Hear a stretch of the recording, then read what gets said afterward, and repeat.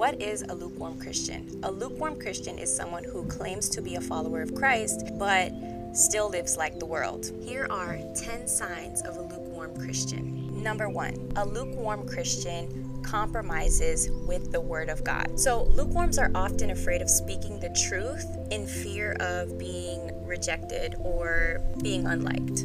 Lukewarms tend to usually stay quiet about certain topics because they know that they might receive backlash. But as believers in Christ, we need to stand firm on what God says and we need to back up the Bible. Number two, justification. A lukewarm Christian tends to justify their sin by taking scripture out of context and twisting scripture to fit their narrative. Number three, a lukewarm Christian does not feel conviction when they sin. They love sinning. If you're truly walking with Christ, you will not love sin. You will hate sin. And yes, we all fall short of the glory of God, but you will feel conviction and remorse, and you will be trying to turn away from that sin.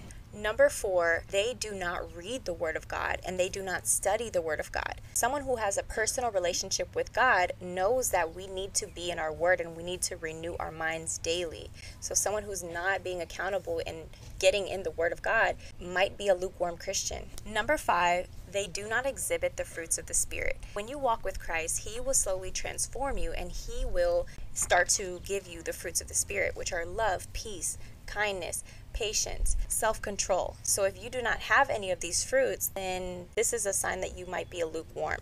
Number six, they do not repent. As believers in Christ, we know that even we need to repent when we fall short of God's glory. So, someone who does not repent shows no fear for the Lord. Number seven, you believe good deeds will get you into heaven. Just because someone goes to church and just because someone does good deeds does not mean that you are going to make it to the kingdom of heaven. Number eight, you fear the punishment of sin more than sin itself. Number nine, you're superficial, so you only go to God when you need something, or you only love people who benefit you. And number 10, you are ashamed of God. You do not publicly proclaim your relationship with God. The Bible tells us not to be ashamed of the gospel. The Bible also tells us if you deny the Lord here on earth, he will deny you in heaven. So don't be secretive about your relationship with God. Go out and share the good news.